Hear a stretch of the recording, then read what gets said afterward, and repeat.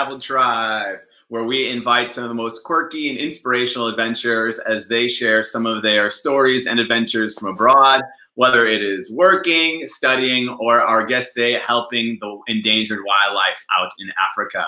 Today, I'm super excited to have on our show the Rhino Mom. We are over the Tiger King. He was so spring 2020. It's on for summer 2020 and we have the Rhino mom, Jamie Traynor here, who has volunteered with the Rhino orphanages out in Africa. She'll be telling us a little bit about her journey, how she got involved, and what she's doing now studying vet medicine.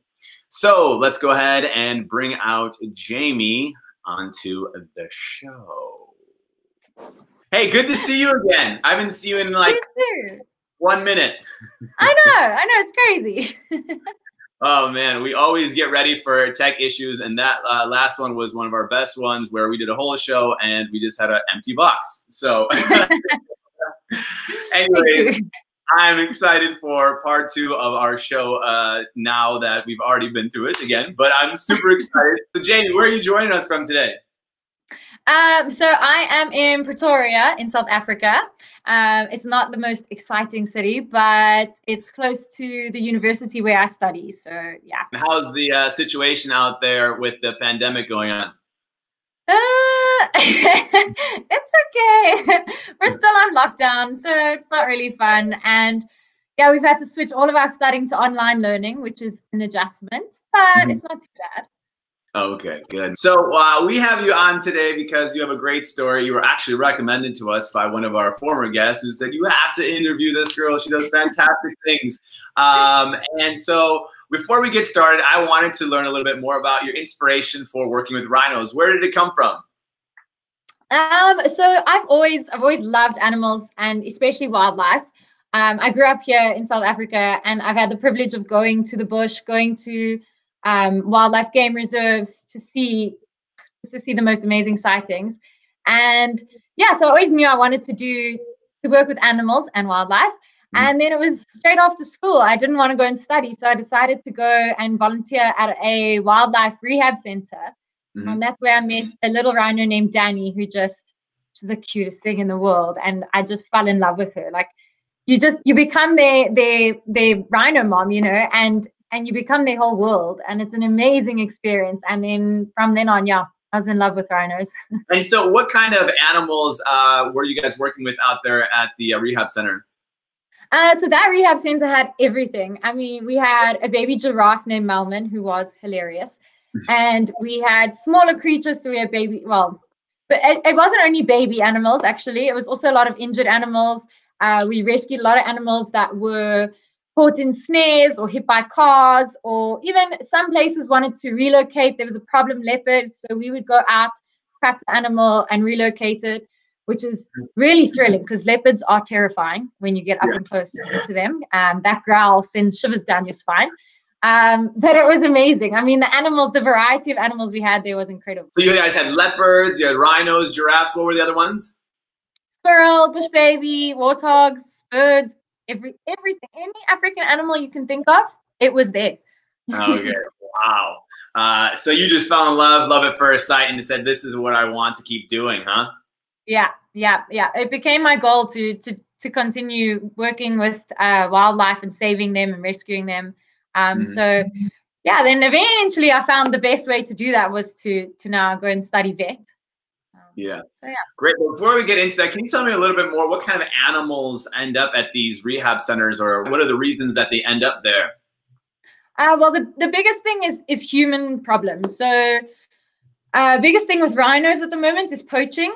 Um, I mean, there's also other animals being poached, like uh, the pangolin, which mm-hmm. is a kind of scaly anteater. It's an amazing animal, but it is the most trafficked mammal in the world and a lot of people actually don't know about it because it doesn't get a lot of tension. Um, so yeah, it's really sad. And then there are other things, you know, there's a lot of snares out in the bush. We had a porcupine once that had a snare wrapped around its its stomach, and I mean, it went into the skin. It was really bad, but luckily we managed to to help it, and the wound healed, and we got to release it. And then yeah, a lot of animals hit by cars. So you don't want to intervene with nature, with uh, natural things. Obviously, you're not going to go stop a lion from eating a giraffe, but anything that's a human problem is where, yeah, they need our help.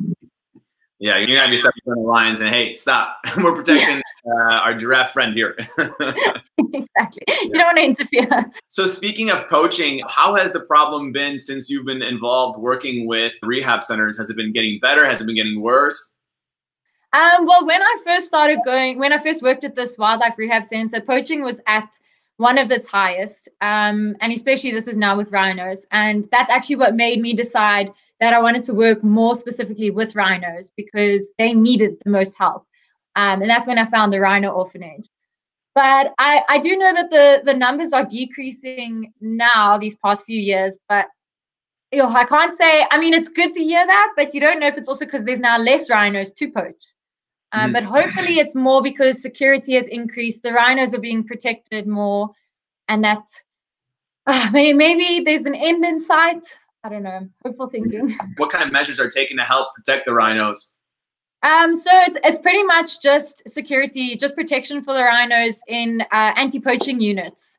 So there's a lot to do with the canine anti-poaching units as well. They do amazing work. Um, go out and I mean, they they're out in the bush there. They're in the middle of it's a war, you know, the the rhino poaching crisis. It really is a war because these guys don't come with little things. They come with huge guns and they're ready to just shoot to kill. You know, they they don't care. So it is it really is hectic. And it, even when I was living at the rhino orphanage, you know, you do get scares as well because if poachers come there, that they're not the kind of people you want to run into. But yeah, so it's it's just big anti-poaching units is the biggest thing.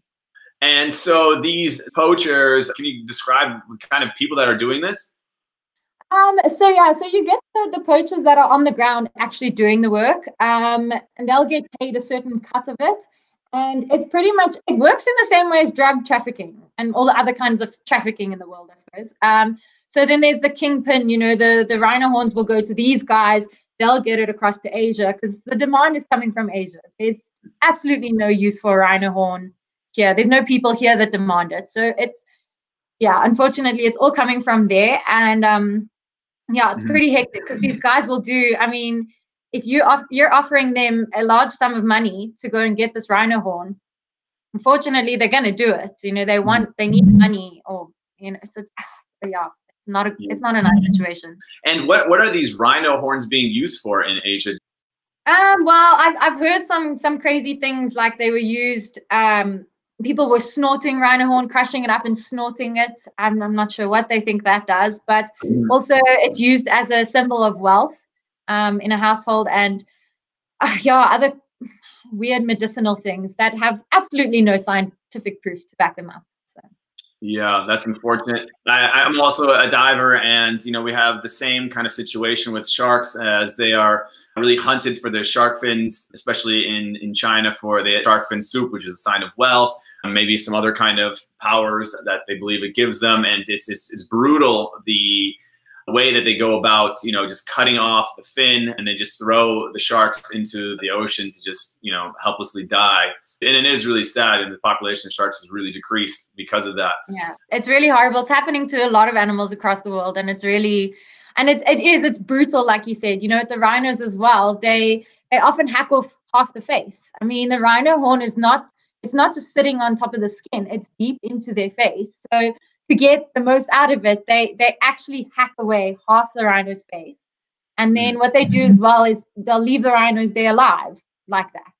And you know, rhino's lucky if it if it's found the next day and it can either be euthanized because you know if it can't be saved or hopefully it can be saved. Um, there is an amazing organization called Saving the Survivors and they actually go out to these rhinos, the ones that are really, you know, I've seen them treat some hectic cases and they've actually managed to save a lot and they do amazing work.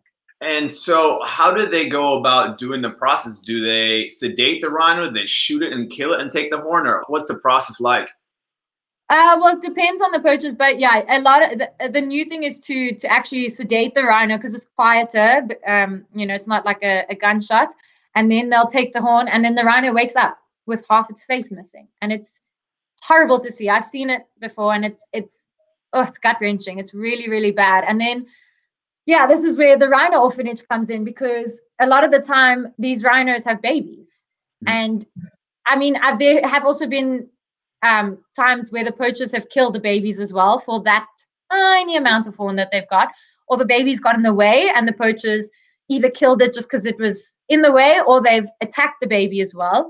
Um, and then that's when the rhino orphanage gets a call to go out and save this now orphaned baby rhino. But are there any severe consequences if these poachers are caught? Yeah, there should be. I can't say they're that severe because, mm. yeah, the, the, I don't know, this country and our system. So that's where you kind of come along with the with the Rhino Orphanage. So you volunteered at the rehab center, and then tell us a little bit about the the orphanage that you ended up working at. Um, so yeah, so I went after the rehab center. I researched the whole lot, and I found the Rhino Orphanage. And I actually went there and I started as a volunteer there as well. And then after three months of volunteering, I told them I wasn't leaving and then I needed a job. and uh, they were happy to offer me one, so that worked out well. Um, but yeah, and I ended up working there for three years. It was amazing. It's just that, that place is like my home. I I go visit as often as I can. Obviously now with with Corona, I can't go there because it's about two hours away from me. Mm-hmm. Um, so I haven't been there in a very long time, which is hard, but I go whenever I can. What is the process like in order to volunteer at one of these places? Is it selected um, or? Yeah, so with the Rhino Orphanage, a lot of the volunteer programs in the country um, is, you know, you can contact them, you pay a certain amount, and you can go for two weeks to three months, whatever you like. But the Rhino Orphanage is a selection based process. So um, you have to contact them and then it's you actually don't pay to volunteer there because it's so selective and because you're there for three months they you know they want people who are really committed to it because they have had in the past where people come all the way there only to turn around and go home and then you're stuck with no one so that's mm-hmm. a bit um so yeah and the three months is also so that people can be trained properly uh, because the volunteers become like staff you know you need to be able to depend on them as well to sleep with the rhinos and feed the rhinos. You need to train them properly. Uh, it's also very important for the baby rhinos to, that we don't want people changing every two weeks. It's very stressful for them. Um, they really do form very strong bonds to people. So having people there for three months is a lot better for the rhinos as well. Some of like programs, for example, when I was in Asia, where they would have expats or travelers coming in who would teach the English to their students for like two weeks and then they'd keep rotating. But it was just heartbreaking for the kids because they get attached to yeah. somebody and all of a sudden two weeks later they're gone and you have a new face. And so I can imagine yeah. experience the same situation. And so it's it's a minimum of three months, right? You just can't come in and take an Instagram photo and, and head out, right? Definitely not. no, and it also, you know, it depends on the how long you've been there, whether you get to do certain things and work with certain rhinos. It, it's always changing there. There's always different rhinos around. Obviously, the bigger, the older rhinos, you don't want volunteers going in and, and possibly getting hurt by them. So they would more work with the younger ones. And oh yeah, it's it's always different there. Through uh, like a typical day to day or week uh, working at the Rhino Orphanage.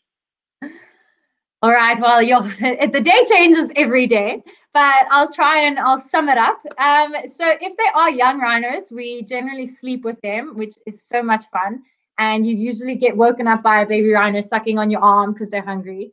and I had a friend shame this one rhino for some reason loved to pee on the mattress because we would take mattresses in because you don't want to sleep with them on the concrete floor. And there's a mattress for the rhino and a mattress for the human although you end up on the same one.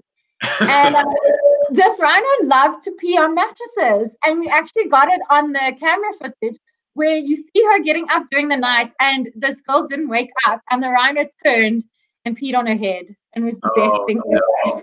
One of my friends after a night out, so yeah, no, it was brilliant. Oh goodness! But anyway, so after you've slept with the rhino and you're now very tired from your from your night of feeding, uh, you then take them for a walk out in the bush. And yeah, it depends on how, how young the rhinos are, but you would go for a couple hours. How long they want to go for, you kind of judge it on them. And that is so much fun because they love to play. And you go and find a, a mud wallow and they roll in the mud. And then you get in the mud with them. That's get full of mud. It's so nice. The thing is, there's a really cool tree in South Africa called it called the toilet paper tree. So you can actually wipe your hands on it. So you wipe all the mud off, which is uh. fun. And then, yeah, after walking around the bush, you go back, and then there's a lot of feeding during the day because um, there's usually quite a couple of baby rhinos that need milk, and a lot of other little creatures like buffalo, baby buffalo, and zebras, and that they also need milk. And then there's a lot of cleaning. I'm trying to envision what it's like to walk around. walking with does it just follow you like a dog? Do you have to have treats in your hand? so yeah, lots of people have asked if we take the rhinos for walks on leashes, but no, uh, there's no way of controlling a baby rhino. You cannot tell them what to do. They do what they want to do when they feel like doing it. So the walks, you literally just run out the gate with them. They love to follow. They they're made to be with their mom, and you know in that situation you're their mom, so they stay with you. There are some naughty rhinos that run away, and then you spend your whole walk running after them in the bush. And it's stressful. And it's, we've also had some rhinos that didn't want to come back. So we, I, would, I remember having to phone one of the girls and saying, it's eight o'clock at night. I'm still out in the bush with these two rhinos. Like we couldn't get them back inside. It was crazy. Uh-huh. Yeah, it's fun though. What do you do to entice a rhino back to its uh, its home? well, that's tricky. They are very food motivated, but yeah, sometimes that doesn't work either. So you kind of just got to keep calling them, keep walking. Um, if they're alone, they usually follow quite well because then they don't want to be left in the bush alone. You know, we had mm-hmm. one rhino named uh, Lunga, and he was very confident. You know, he would run off to the bush, didn't care if you went with him. But if he was alone for longer than 10 minutes, he started getting a bit worried. He got a friend, and once he had this friend, that was it. They were gone. And then he didn't care if he was alone because he had her. So it's a bit of an issue, but anyway. Yeah. It sounds like they all have their own unique personalities, huh? Yeah. Oh my goodness, their personalities are insane. They are so funny. Like, I mean, I used to think it as well. When you when you drive in the bush and you see rhinos in the wild, they do look, you know, a bit boring and slow and prehistoric, and you're kind of like, okay, it's a rhino, you know. But when you get to know these little rhinos, they are hilarious. They are so funny. They just I can't even tell you the stories that I've got of them. Yeah. And they're also different. I mean, some of them are super trusting and they want to. I had a baby rhino named Kumba when I first got there. He was glued to my side. So he actually walked around the orphanage with me doing like the cleaning and that. And he used to pull the rakes around and make a mess. Um, and then, yeah, you get other rhinos like Lunga, who was Mr. Confidence and did whatever he wanted. So it's brilliant. Are the kind of people that are usually attracted to showing up? Do you have a lot of locals, international people, vet students? Uh, well, usually it is more international people actually um, that want to come and volunteer, and it's just it's people with that same passion and that I want to say obsession for rhinos because that's what you got to have to do all of that. It's a it, it can be a hard job and it can be challenging at times. So you really got to have that passion for them. Otherwise, you, you just don't enjoy it, you know. So I've met amazing people who have come to the Rhino Orphanage. I mean, all of my best friends are from there, and I still I, I've gone to visit one of them in Australia, and they've come back to South Africa to do trips with me. So it's amazing. What were some of what are some of the perks uh, other than, of course, getting to walk the rhinos? Oh, there's just so many perks. So uh, sleeping with them, as as horrible as it was during the night, getting up at 3 a.m. to make milk it's it's so much fun. It's so nice. Like I can't even describe it because you don't really sleep because you have to be awake in case they wake up and stand on you or something. Mm-hmm. But it is it is so much fun, and for they come and cuddle next to you. They sleep right on you, and it's so nice. I can't. Oh, I love it. I love it. And uh, what are maybe some of the hidden downsides or the less glamorous part uh, that you wouldn't see on Instagram of working in these orphanages? A lot of poop cleaning, or yeah, there's a lot of a lot of poop cleaning, a lot of scrubbing of the the rooms where the rhinos sleep. Um, there's also a, there is the sad side as well where you, you where you lose a rhino, um, which has happened. I mean, obviously, you know, but yeah, so that's the sad part. The challenging part is more when they first get there and you've got to try and earn their trust. It is insane. I mean, they have no idea what's happened to them. They're terrified. They've just come from the bush with their mom to this concrete room with this two-legged creature and um, yeah you've got to try and earn their trust and it's a lot of talking to them because they rely so much on hearing and smell you literally, I would sit and read. I'd read books sitting outside their room, and then it's being brave enough to go inside the room and possibly get bashed a lot. so you come out with mm-hmm. lots of bruises, but oh yeah, it's worth it. When they do trust you, it's it's insane. The bond that they form with you is incredible. Yeah, I can imagine. We have one of uh, the viewers here, Mark, who said it would mean the world to him if you could uh, nickname one of his rhinos Mark. So, oh, these are people I study with. It's terrible. and uh, are there also vets that that also uh, reside at the premises? Yeah, so there's there's one vet that works uh, with the Rhino Orphanage. He's not there 24 seven. Um, so he he oversees everything. So everything, anything that um, medical that we needed to talk to him about, we would just phone him. He'd either come over and sort it out, or he would just tell us what to give them. Um, but yeah, he's amazing. He's I need to work with him one day as well. He's such an inspiring vet. And uh, we had a question from one of our viewers saying, "What's a rhino's sleep schedule like?" Uh, they sleep opposite hours to what you want to sleep, pretty much. so whenever you're tired and you're trying to go to sleep, they're awake and they want to play. And then when they're sleeping, it's daytime and you've got to do other work. Um, but yeah, pretty much they sleep during the night. They sleep most of the night. So mm-hmm. you would give them their main like last feed at about nine or ten o'clock, and then uh, they'd sleep. They're usually really good at sleeping till the next feed unless they're very hungry. Then they wake up and and wake you up as well. And what are these uh, rhinos feast on? What do they feast on? A lot of milk, a lot. Um, so some of them go up to about 24 liters of milk in a day, and then that's spread out depending on the age of the rhino. Either you start off with hourly feeds, and then it goes to two hours, and so on. Mm. Um, and then they eat a lot of what we call dry food. So it's like teff, grass, um, lucerne, and then rhino pellets, which they love. And so, how long will the rhinos actually stay at the rehab center? Are they there for a certain amount of time, or when they, they get too big and you're saying, hey, there's not enough room here, or the bruises become too big on your body? How do you know it's time for the rhinos to finally cut the ties with you and go onto their merry uh, little rhino world? Um, okay, well, we base it pretty much on what they would do in the wild. So they would stay with their moms till they're about two to three years old. Um, so that's usually the age where you start like thinking about it. But it also depends on the rhino. So some rhinos are a lot more imprinted onto humans. So if they've arrived at a very young age, they had a lot more time with us, and then unfortunately they they're a lot more used to people. So you you might need to prolong that stage of cutting ties so that they get a bit more used to being a rhino. But mm-hmm. what actually works really well is if a rhino comes in that's around because so we wean them when they're 16 months. That's when they their milk is finished, because um, that's also what they would get in the wild. But if a rhino comes to the orphanage that's around a year old, we wouldn't start them on milk, and we wouldn't try and and uh, form a bond with them or get them used to people. We would immediately put them in with another group of rhinos, and they actually teach the tamer rhinos to be more wild, which is really it's worked really well in the past. So yeah. So, what is it like on graduation day? Are there tears flowing down? Are there uh, celebrations? Well, it's a bit of both. Like mm-hmm. the last time I was bawling my eyes out, but it was happy tears as well. So it's hard. Like you, you work that whole time because that's the goal. You know, you want to release them, um, but it is very scary because you don't know what's going to happen to them. You don't know if they're going to be okay or, you know, are they going to survive out there?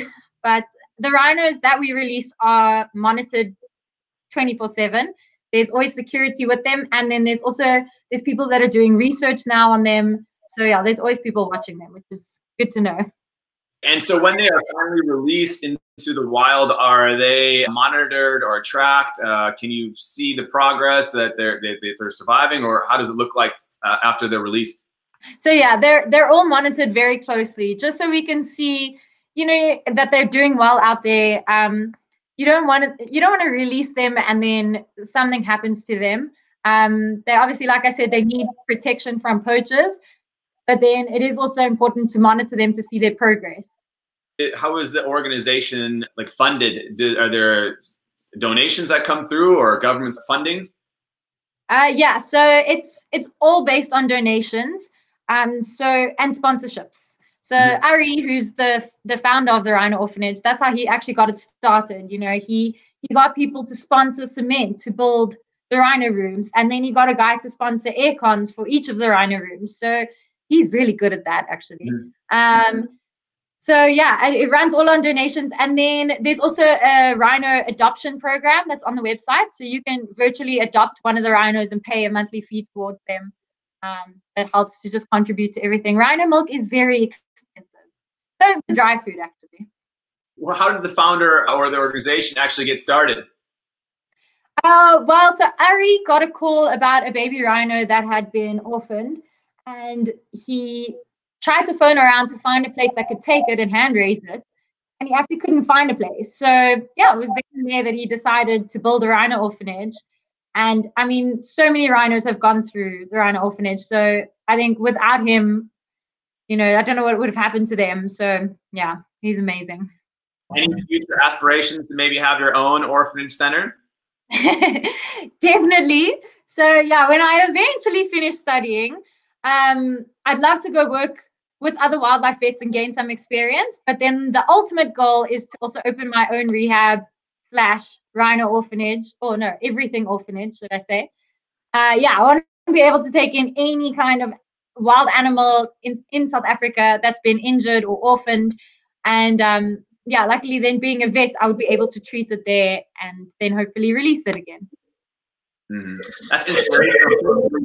you have people just, you know, young people just trying to go make money or getting business degrees, build a bunch of wealth. It's just inspiring to see somebody's, you know, ultimate goal is just to help animals and give back. Where does that come from? The this the drive and passion.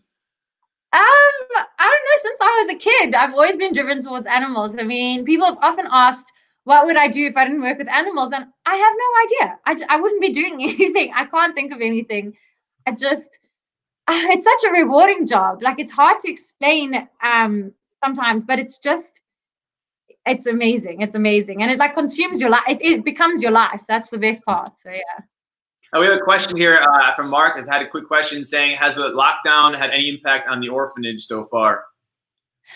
Um, yes, it's had an impact on the just the volunteers. Mm-hmm. Um, because they were getting a lot of volunteers in from overseas, obviously now people can't come. So they've had to look for volunteers from South Africa more.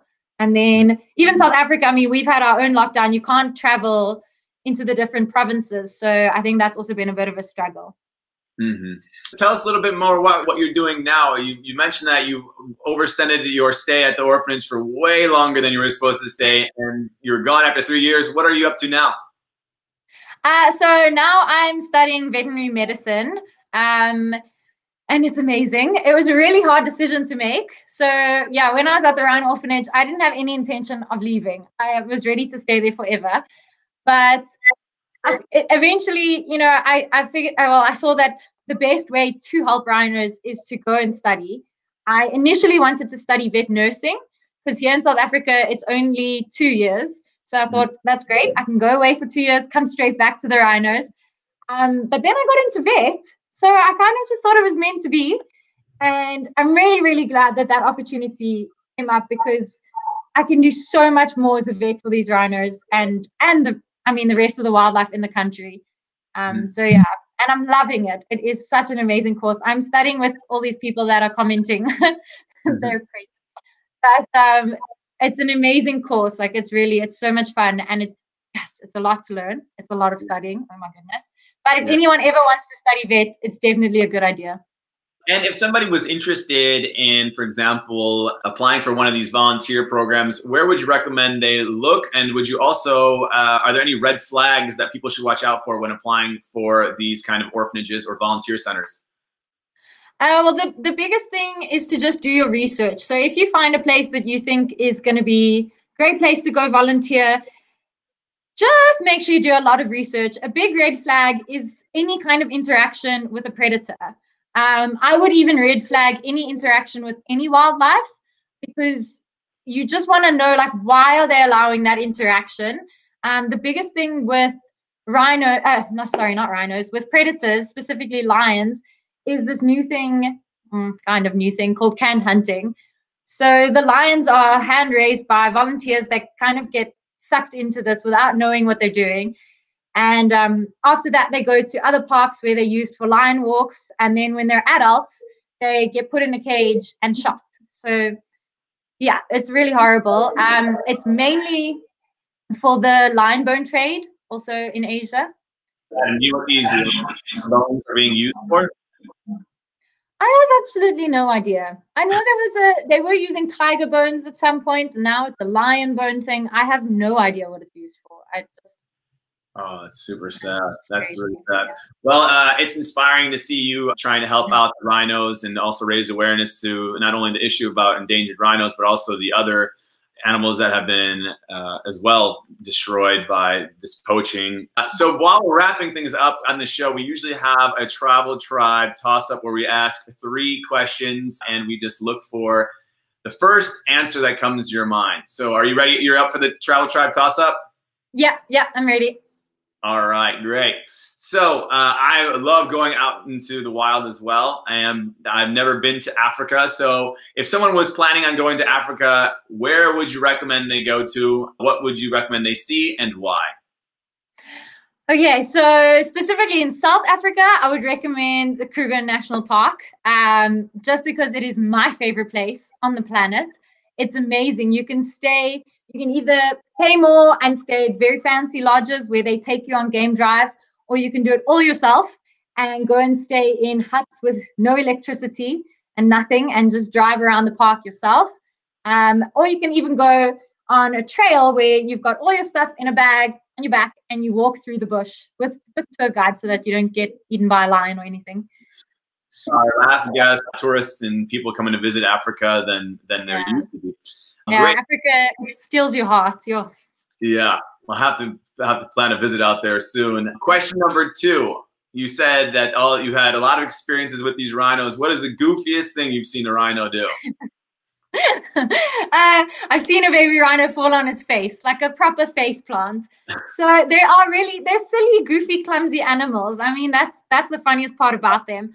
And they love the rain. So they get really, really excited and start running around like crazy. And then they're, just, they're too big and clumsy on their feet, and they usually end up falling. Also, because they run through the mud, which is slippery.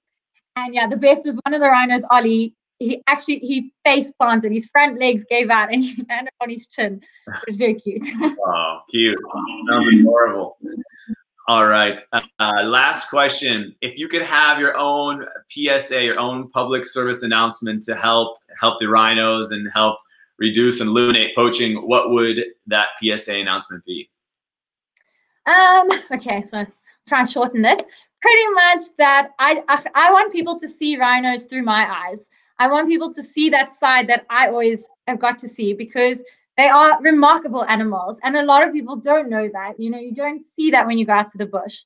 And yeah, I just want the more people who see that side of them, the more people want to fight for them. Um, the other big thing is is spreading spreading the news about this, creating awareness so that everyone knows what's happening to the rhinos. A lot of South Africans don't even know what's going on with the poaching. So, yeah. Mm-hmm. And we're going to throw in a bonus question just because it looks like your mom is here. Uh, and she said, ask her about all the pets she had when she was little. a lot. I've gone through all the animals. I've had everything. And at the moment, I still have lots of pets. So, yeah, yeah, I'm, I'm a bit animal obsessed. All right, great. Well, we're going to wrap things up here. Uh, if people wanted some more information about volunteering opportunities, uh, such as the Rhino Orphanage or anywhere else, where would you recommend uh, they look at?